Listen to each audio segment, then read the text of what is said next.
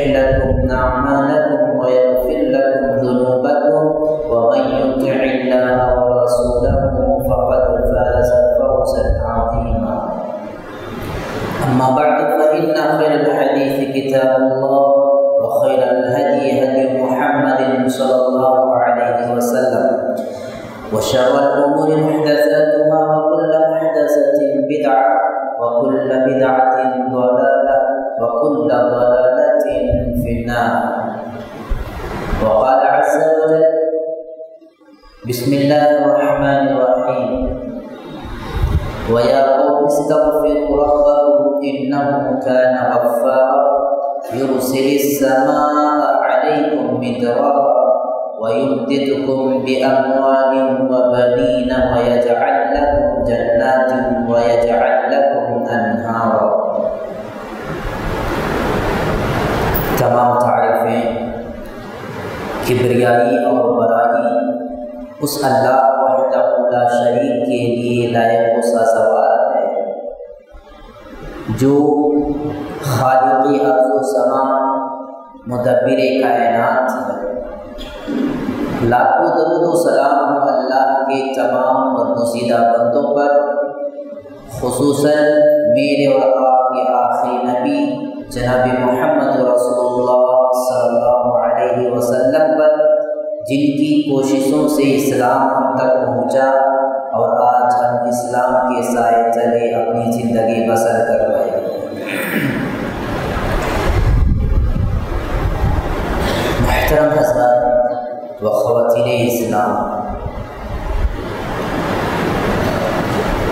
गुज्त जुमा रमज़ान शुरू हुआ था और हमारा पहला रोज़ा था। और आज ये रमज़ान का दूसरा जुमा है।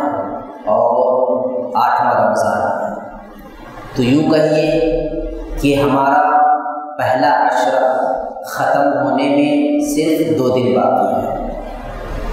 अल्लाह तबारक से हमें दुआ करना चाहिए और अल्लाह का शुक्र भी बजा लाना चाहिए कि अल्लाह तबारक ताला ने हम तमाम को इस महीने का रोज़ा, सेहत व आफियत के साथ रखने की तोफ़ी अता फरमा रहा है। और साथ ही साथ अल्लाह तबारक ताला से ये भी दुआ करें कि हम इस महीने के अंदर जो भी इबादतें कर रहे हैं, रोज़े की शक्ल में क़ियाम की शक्ल में, सत्ता खैरात की शक्ल में, तिलावत कुरान मजीद की शक्ल में और दूसरी इबादतों की शक्ल में अल्लाह तबारक ताला हम तमाम की इबादतों को शरफ़ कबूलियत से नवाजे और हमारे लिए नारे जहन्नम से नजात का ज़रिया बना है इसी तरह अगर हम में से कोई इन दस दिनों में या इन शुरुआती के दिनों में कोताही करते आ रहे हैं, रोज़ा से गफलत करते हुए आ रहे हैं, क़ियामुल की पाबंदी नहीं कर रहे हैं कुरानी मजीद की तिलावत नहीं कर रहे हैं, या दीगर इबादतों से अगर गफलत अभी तक बरतते आ रहे हैं तो अल्लाह से दुआ कीजिए कि अल्लाह तबारक ताली आने वाले दिनों में हम तमाम को बाकी दिनों में रोज़ा रखने, तरावी की नमाज़ पढ़ने कुरानी मजीद की तिलावत करने और दूसरी इबादतों को अंजाम देने की तोफ़ी अदा करना महतरम मुबारक का ये महीना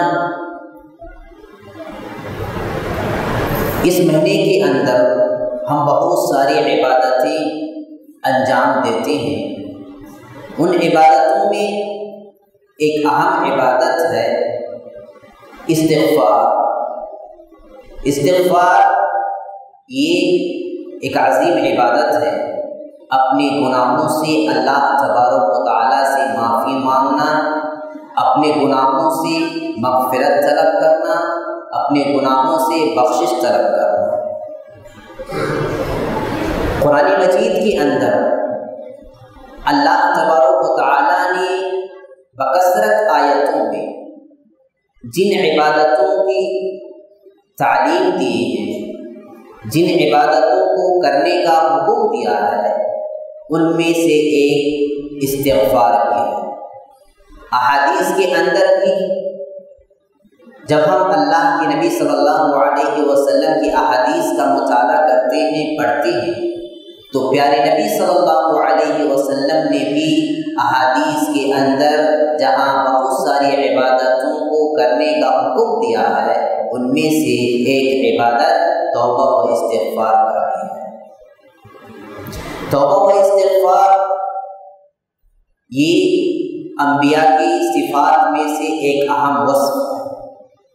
अम्बिया कराम सलाम की सिफात में से एक अहम सिफत, अल्लाह तबारक से अपने गुनाहों से मगफरत तलब करना, अपने गुनाहों से बख्शिश तलब करना, अल्लाह तबारक ताली से तोबा व इस्तग़फ़ार करना।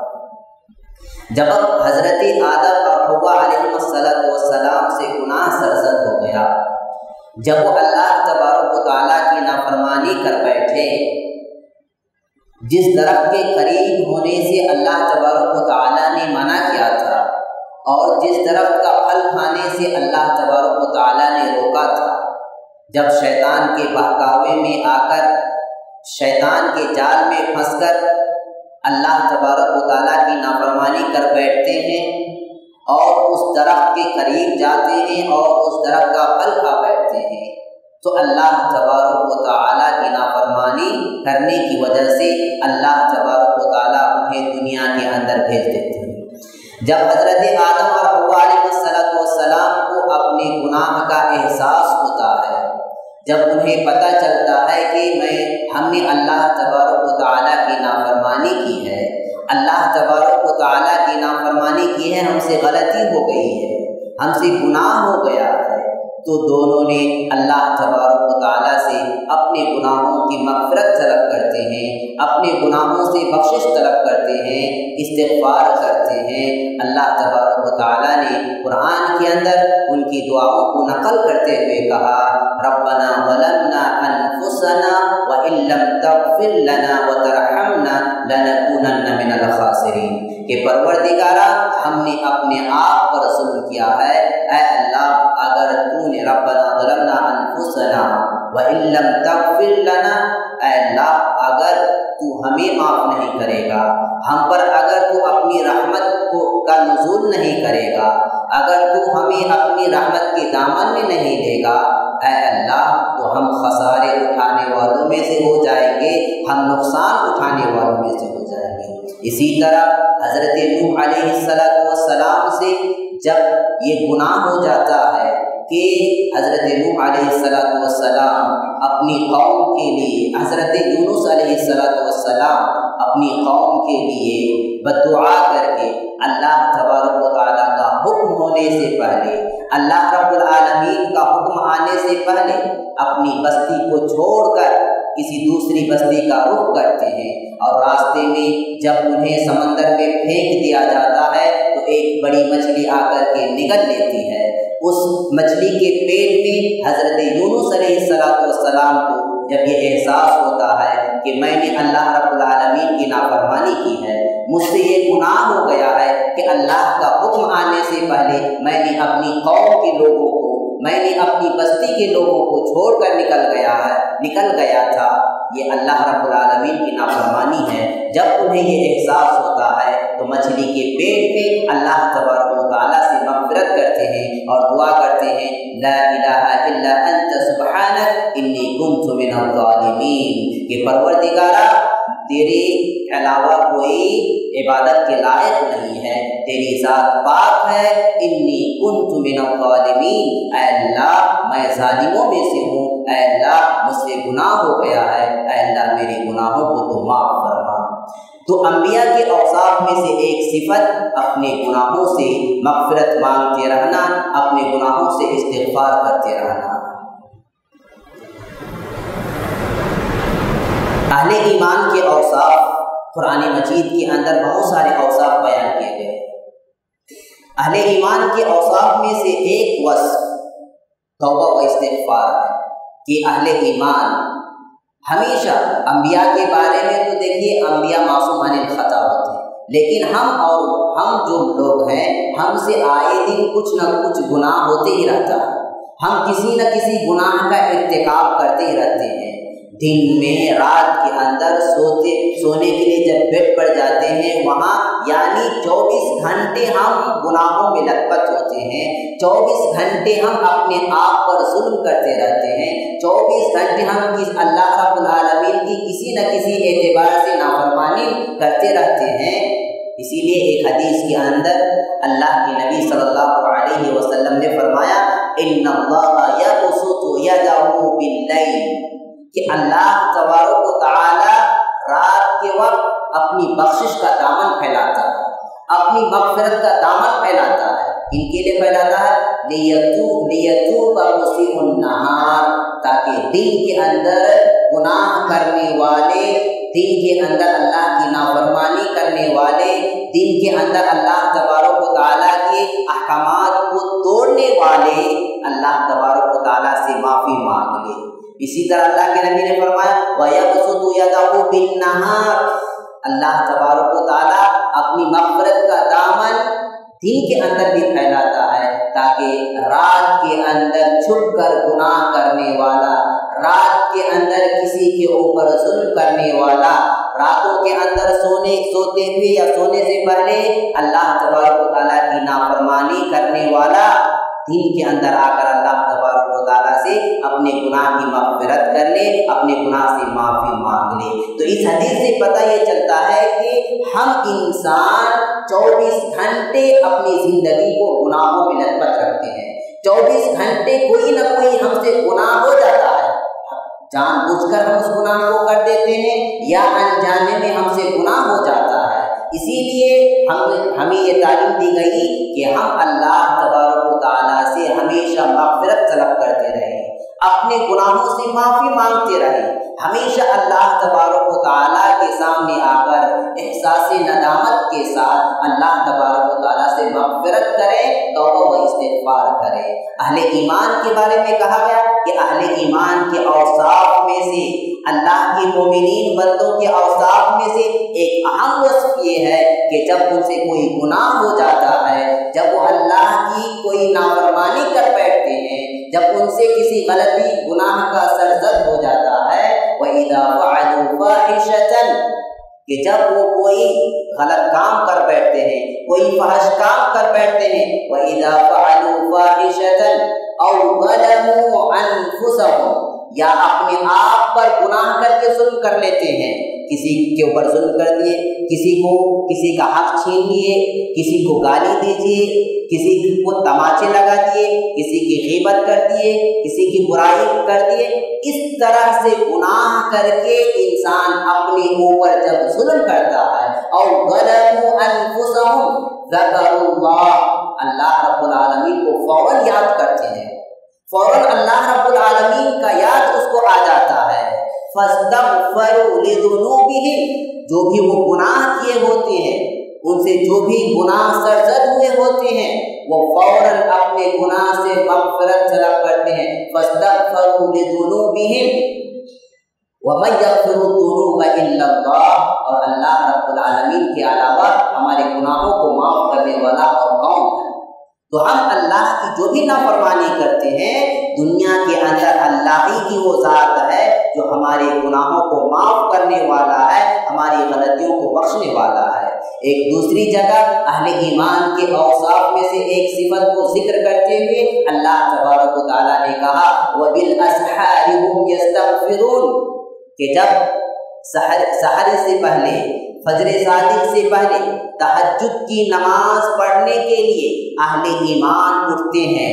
फजर सादिक तुलू होने से पहले जब वो अल्लाह को याद करने के लिए उठते हैं, जैसे रमज़ान के अंदर हम पाबंदी के साथ सहर करने के लिए उठते हैं, अल्लाह तबारक ताला फरमाते हैं कि अल्लाह के नेक बंदों का ये अमल होता है कि सहर से पहले जब वो उठते हैं तो जहाँ वो अल्लाह रब्बुल के लिए दो रकात नमाज़ अदा करते हैं, तहज्जुद की पाबंदी करते हैं, वो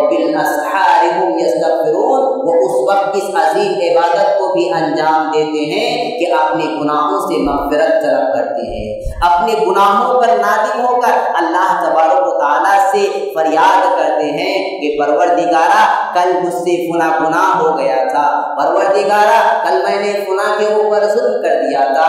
परवरदिगारा, रात में मुझसे ये गलती हो गई। मैंने तेरी ये नाफरमानी कर ली। अल्लाह मेरे गुनाहों को तुम माफ़ फरमा दे। तो ये अहले ईमान के औसाफ में से एक वस्फ, एक अजीम वस्फ है, एक अजीम सिफत है कि वह अल्लाह रबालमीन की इस अजीम इबादत को हमेशा अंजाम देते रहते हैं। मोहतरम भाइयों, मेरे और आपकी नबी मोहम्मद सल्लल्लाहु अलैहि वसल्लम की ज़िंदगी का मुताला कीजिए। आप मासूम अनिल ख़ता है। आपके सारे गुनाह माफ़ हो चुके हैं। आपसे जो गुनाह सरजद हो चुका है, या आप जिस गुनाह का भी इरतकाब अभी नहीं किए हैं, जो मुस्तकबिल में आपसे होने वाला था या नहीं, वो सारे गुनाह अल्लाह ने आपको माफ़ कर दिया है। आपको मासूम अनिल खता गुनाहों से पाक ऐसा लकब आपको दिया जा चुका है। लेकिन अल्लाह के नबी सल्लल्लाहु अलैहि वसल्लम जब कुरान मजीद की ये आयत नाजिल हुई, इज़ा जाअ वल व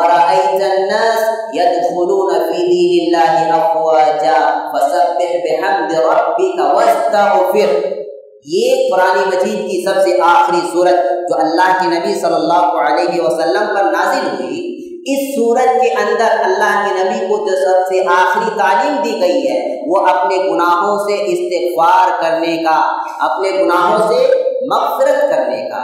अल्लाह तबारक ने जब आपको ये तालीम दी कि ये आपका आखिरी अयाम है, ये इस साल आप इस दुनिया से जाने वाले हैं। आपकी मौत का एक इशारा आपको दे दिया गया इस आयत के अंदर। तो हज़रत आयशा सिद्दीक़ा अल्लाह फरमाती है कि प्यारे नबी सल्लल्लाहु अलैहि वसल्लम, इस सूरत के नज़ूल के बाद हमेशा पंज वक्त नमाज़ हो या नफिल नमाज़ हो, आप रुकू के अंदर, आप सजदे के अंदर अल्लाह तबारक व ताली से दुआ क्या करते थे कि अल्लाह, तू मेरे गुनाहों को माफ़ फरमा दे। रब फिरली अल्लाह, मेरे गुनाहों को बख्श दे। और अल्लाह के नबी सल्लल्लाहु अलैहि वसल्लम की तोबा व इस्तफ़ार का अपने गुनाहों से अल्लाह तबारक ताली से माफ़ी मांगने का ये, की ये हालत थी। आज हम और आप गुनाह करते हैं।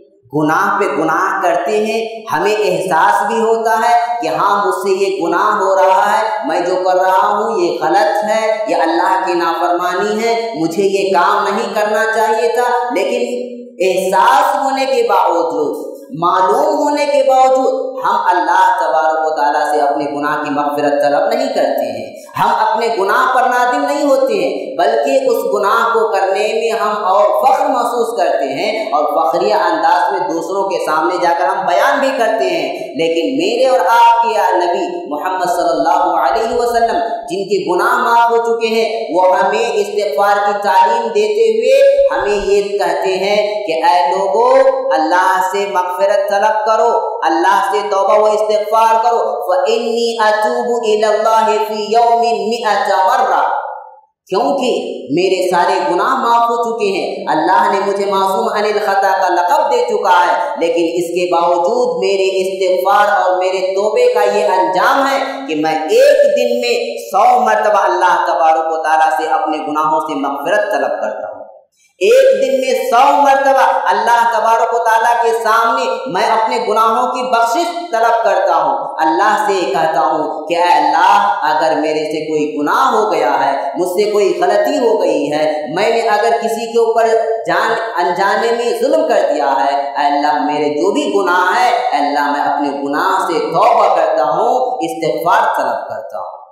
मोहतरम भाइयों इसीलिए सहाबा मजमाइन कहते हैं कि प्यारे नबी सल्लल्लाहु अलैहि वसल्लम का ये तोबा व इस्तफार की हालत सिर्फ़ अपने घरों के अंदर या नमाजों के अंदर नहीं, अपने घर के अंदर या नमाज़ के अंदर ही नहीं, बल्कि अल्लाह के नबी सल्लल्लाहु अलैहि वसल्लम जब किसी मजलिस के अंदर बैठे होते, जब आप हमें दर्श दे रहे होते, हमें किसी बात की नसीहत कर रहे होते तो ऐसी मजलिस में भी अल्लाह के नबी सल्लल्लाहु अलैहि वसल्लम अल्लाह तबारक व तआला से इस्तिगफार करते और कहते हैं कि रब फिर रब फिर वतुब अलैया, वरहम वतुब अलैया, इन्नका अंत तव्वाबुर रहीम। ये जुमला अल्लाह के नबी सल्लल्लाहु अलैहि वसल्लम एक मजलिस के अंदर जब हमने गिनना शुरू किया जब हमने काउंट करना शुरू किया कि अल्लाह के नबी सल्लल्लाहु अलैहि वसल्लम एक मजलिस के अंदर कितने मरतबा इस जुमले को दोहराते हैं, सहाबा कहते हैं कि आप एक एक मजलिस के अंदर सौ से जायद मरतबा इस जुमले को दोहराया करते थे। रब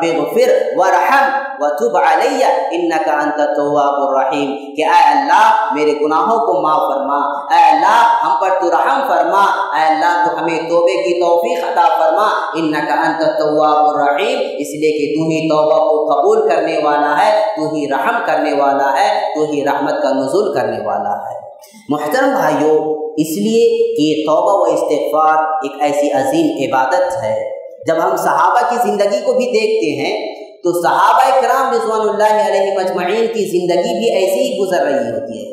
उनके अंदर भी अपने गुनाहों से मगफरत करते हुए वो भी ऐसे ही नज़र आते हैं कि उनसे अगर कोई गुनाह हो जाता जब वो कोई गलती कर बैठते और उन्हें सब जब एहसास होता कि हाँ मैंने ये गुनाह कर लिया है, मुझसे ये गलती हो गई है, ये अल्लाह की नाफरमानी है तो जब उन्हें एहसास होता तो वो खामोश नहीं बैठते, बल्कि फ़ौरन अल्लाह के नबी के पास आते और अल्लाह के नबी सल्लल्लाहु अलैहि वसल्लम से कहते, या अल्लाह के नबी सल्लल्लाहु अलैहि वसल्लम तो हिरनी अल्लाह के नबी सल्लल्लाहु अलैहि वसल्लम, मुझे पाक कर दीजिए। इस, ऐसे बहुत सारे वाक़यात आपको मिलेंगे। मैं एक वाक़ आपको सुनाता हूँ, और ये वाक़ आप कई बार सुन चुके भी हैं कि इम्र गामिदिया इम्र गामिदिया इनसे एक गुनाह हो जाता है।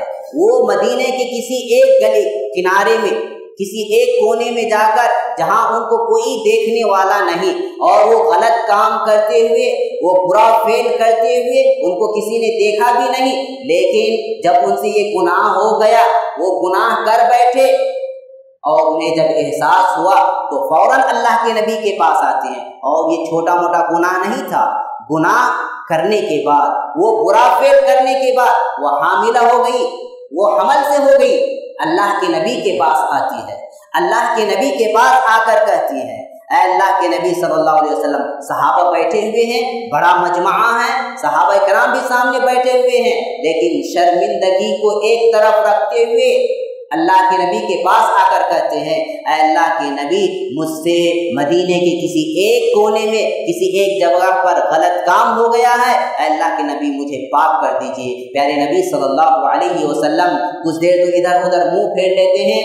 अचानक वो अपनी जबान से कहती है अल्लाह के नबी, मैं हामिला हो चुकी हूँ, मैं प्रेगनेंट हो चुकी हूँ। अल्लाह के नबी, मुझे पाक कर दीजिए। अलगर्स अल्लाह के नबी सल्लल्लाहु अलैहि वसल्लम कहा कि जाओ, बच्चे की विलादत हो जाए और जब बच्चे खाने के काबिल हो जाए तो बच्चे को मेरे पास लेकर के आना। वो जा कर के अपने बच्चे को नौ माह पेट में रखती है। नौ माह के बाद जब बच्चे की विलादत होती है, दो साल मुसलसल बच्चे को दूध पिलाती है और जब बच्चा खाने के काबिल हो जाता है तो हाथ में रोटी का एक टुकड़ा दे करके अल्लाह के नबी के पास आती है और अल्लाह के नबी से कहती है अल्लाह के नबी, देखिए, ये बच्चा अब खाने के काबिल हो गया है। अब मुझे कम से कम मेरे गुनाह से पाक कर दीजिए। अल्लाह के नबी सल्लल्लाहु अलैहि वसल्लम ने सहाबा सहाबत को हुक्म दिया कि इसको रजम कर दो। तो पत्थर से मार मार करके उन्हें रजम कर दिया गया, यानी उन्हें मार दिया गया। ये आलम था किनका सहाबा कराम और सहाबियात के तोबा व इस्तेफार का कि जब उन्हें एहसास होता कि मैंने गुनाह कर लिया है, अल्लाह की नाफरमानी कर ली है, मैंने ये गलत काम कर लिया है, फ़ौरन वो अल्लाह के नबी के पास आते और अल्लाह के नबी से कहते कि आप मुझे इस गुनाह से पाक कर दीजिए। आखिर ये तड़प उनके अंदर क्यों था? गुनाहों से अपने आप को पाक करने का इसी दुनिया के अंदर इतना खौफ क्यों था? अगर वो चाहते तो अल्लाह रब्बुल आलमीन के सामने आ करके अल्लाह से गिड़गिड़ा करके, वो तौबा व इस्तेफार करके भी किसी को बताए बगैर अपने गुनाह से माफ़ माफ़ी मांग ले सकते थे। या उनको किसी ने वो गलत काम करते हुए नहीं देखा था। वो चाहते तो अपने गुनाह को छुपा भी लेते। लेकिन क्यों? क्योंकि उन्हें ये एहसास था, उन्हें ये खौफ था, ये डर था कि इस दुनिया के अंदर मैं हज़ारों गुनाह का काम करके लोगों से छुपा लूँगा। लेकिन वो रब है, वो रब, वो जात जिसने मुझे इस दुनिया के अंदर पैदा किया और जो सारी दुनिया को चला रहा है और रात में पहाड़ी के ऊपर काली चीटी की आहट को सुनता है, वो जात कभी मुझे माफ़ नहीं करेगा। उस जात ने मुझे, उस जात ने तो मुझे देख लिया है, वो कभी मेरी मफरत नहीं करेगा। मैं लोगों से छुपा लूँगा, लेकिन उनसे कभी नहीं छुपा पाऊँगा। इसीलिए वो इसी खौफ और इसी डर की वजह से अल्लाह के नबी के पास आकर के अपने आप को गुनाहों से पाक कर लेते और उन्हें ये मालूम होता कि अगर अल्लाह के नबी इस दुनिया के अंदर पाक कर दिया तो फिर अल्लाह तबारक क़यामत के दिन इसके ऊपर मुआवजा नहीं करेगा, गिरफ्त नहीं करेगा। अलगर्ज कहना यह है कि तोबा व इस्तेफार अपने गुनाहों से मफरत मांगना अपने गुनाहों की माफ़ी तलब करना, ये बहुत ही अजीम इबादत है। इसी तोबा व इस्तेफार के अंदर अल्लाह तबारक ने हमारे तमाम मसाइल का हल रखा है। तोबा व इस्तेफार की बहुत बड़ी फजीलत है। तोबा व इस्तेफार की इंसानी ज़िंदगी के अंदर बहुत बड़ा असरात नज़र आते हैं। जो इंसान तोबा व इस्तेफार करता है जो इंसान या जो कौम तोबा व इस्तफार को लाजिम पकड़ती है, अपने गुनाहों से हमेशा अल्लाह तबारक ताला से मफफरत तलब करती है। अल्लाह तबारक ताला उस कौम के ऊपर कभी अपने आज़ाब का नजुल नहीं फरमाता है। उस इंसान के ऊपर अल्लाह तबारक ताला कभी अपना आज़ाब नहीं भेजता है, बल्कि अपने आज़ाब को उस इंसान से, उस कौम से रोके रखता है। अल्लाह तबारक ताला कुरान के अंदर फरमाया, वमा खान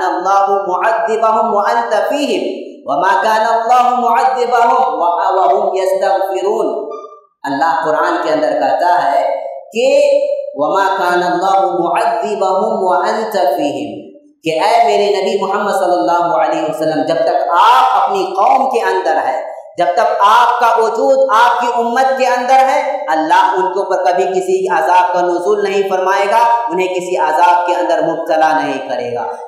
कान और अल्लाह तबारक ताला उस कौम के ऊपर कभी आजाब का नजूल नहीं फरमाएगा, जो कौम के अल्लाह तबारक ताला से अपने गुनाहों से इस्तेफार तलब इस्तेफार करते रहते हैं, मगफरत तलब करते रहते हैं, बख्शिश तलब करते रहते हैं। इसीलिए साहब कराम रजवान मजमाइन कहते हैं कि अल्लाह के आज़ाब से बचने की दो तरीके हैं। अल्लाह के आज़ाब को टालने के दो तरीके हैं। एक तरीका कि अल्लाह के नबी सल्लल्लाहु अलैहि वसल्लम। तो अल्लाह के नबी सल्लल्लाहु अलैहि वसल्लम जब तक थे, साहब कराम अपने ज़माने के लोगों से अपने साथियों से खिताब करके कहते थे कि जब तक अल्लाह के नबी हमारे दरमियान हैं, अल्लाह हमें अजाब नहीं देगा, अल्लाह हम पर अजाब का नजुल नहीं फरमाएगा। और कहा करते थे कि अब हमारे दरमियान अल्लाह के नबी तो मौजूद नहीं है। हमसे एक तरीका खत्म हो चुका है। अल्लाह ने जो जमानतें हमें अजाब को दूर करने के दिए थे, उन दो जमानतों में से एक जमानत खत्म हो चुकी है। लेकिन एक जमानत और एक तरीका अभी भी मौजूद है कि अगर लोग उस तरीके को इख्तियार कर लेंगे तो अल्लाह कभी उन्हें आजाब में मुबतला नहीं करेगा। कभी अल्लाह उनके ऊपर किसी दुश्मन को मुसलत नहीं करेगा।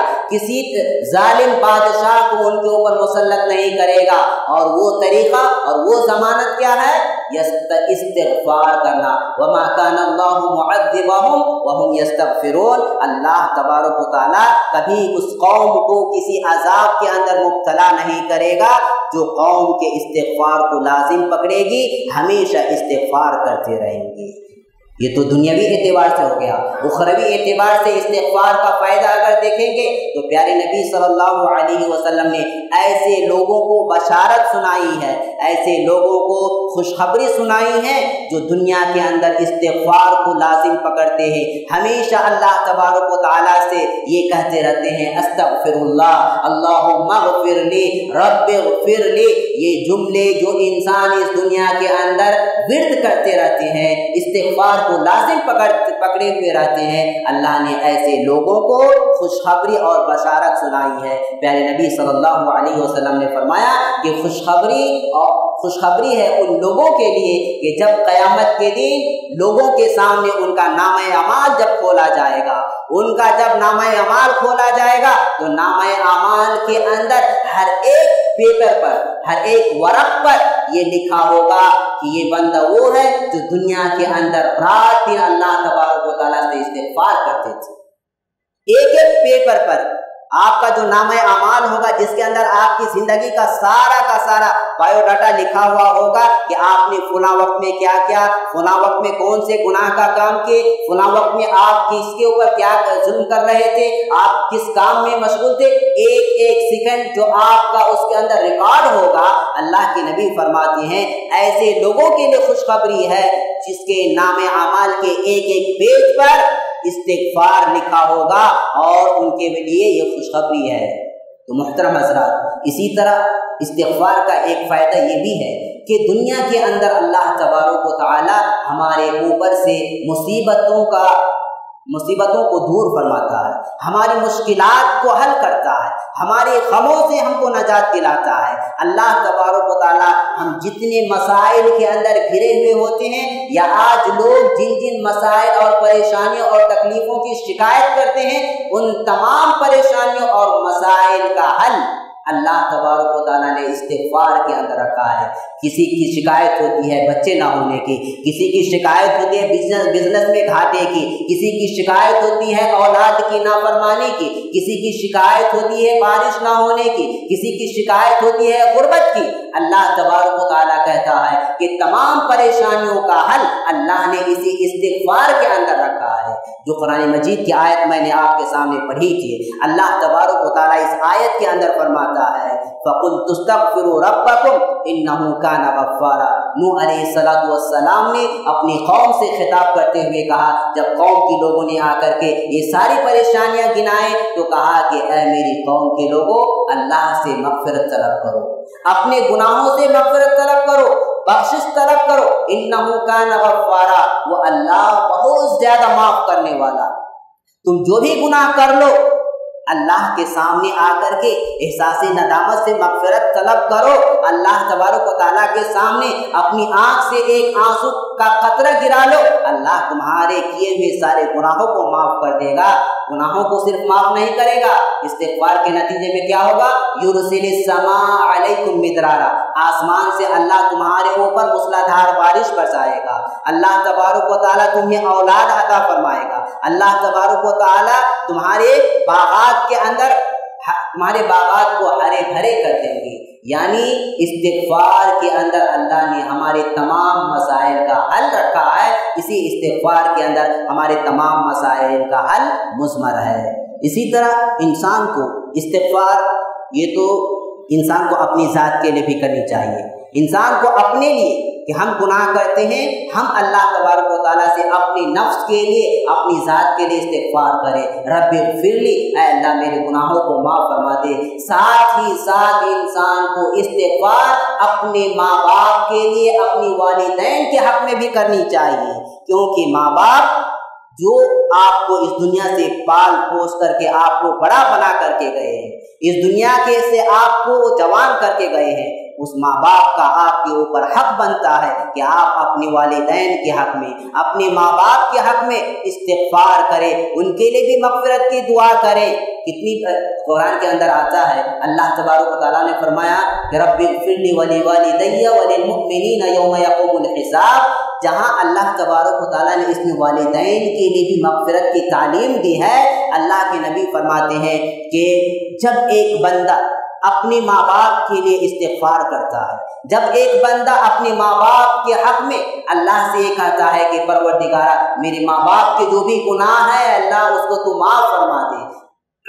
मेरे माँ बाप को भी गलत, गलती उनसे हो गई है, अल्लाह उनकी गलतियों को तू माफ़ फरमा दे। अल्लाह के नबी फरमाते हैं बच्चे के इस्तेफार करने की वजह से, उनकी मगफरत करने की वजह से, जन्नतुल फिरदौस के अंदर अल्लाह तबारक ताला उनके माँ बाप के दराजात को बुलंद करता है। उनके माँ बाप माँ बाप के दर्जात को जन्नतुल फिरदौस के अंदर अल्लाह तबारक ताला ऊँचा करता है। किसके सबब? बेटे के, औलाद के इस्तेफार के सबब अपने माँ बाप के हक में वो बंदा जब जन्नतुल फिरदौस के अंदर उनका मकाम बुलंद हो रहा होता है उनके दर्जात बुलंद हो रहे होते हैं तो बंदा अल्लाह से पूछता है, ऐ अल्लाह, मेरी इस नेकी की बदौलत आज ये मेरा मकाम बढ़ रहा है, मुझे मेरे दर्जात क्यों बुलंद हो रहे हैं? तो अल्लाह तबारक कहता है कि ये तुम्हारे दर्जात की बुलंदी, तुम्हारे अपने बेटे की, तुम्हारे हक में तोबा व इस्तेफार के सबब है। तो लिहाजा हमें खुद भी इस्तेफार को लाजिम पकड़नी चाहिए और साथ ही साथ अपने माँ बाप के हक में हमेशा हमें दुआए इस्तेफार करते रहना चाहिए। और ये माह मुबारक, ये अजीम महीना हमारे पास, हमारे गुनाहों से हमें पाक करने के लिए आया है। लिहाजा ज़्यादा से ज़्यादा अल्लाह तबारक ताली से रातों के अंदर जब हम तहजद के लिए उठते हैं तो अल्लाह तबारक ताली से अपने गुनाहों से तोबा व इस्तफार कीजिए, अपने गुनाहों से मफरत तलब कीजिए, अपने गुनाहों से पूरी तरह इस महीने के अंदर अपने आप को पाक कर लीजिए। अल्लाह तबारक ताली से दुआ है कि बार हम तमाम को हम तमाम के गुनाहों की मफरत फरमाएँ। अल्लाह तबारक ताली हमसे जाने और अनजाने में जो भी गुनाह हैं, जो भी गलतियाँ हो गई हैं अल्लाह हमारे तमाम गुनाहों को तो मफरत फरमा।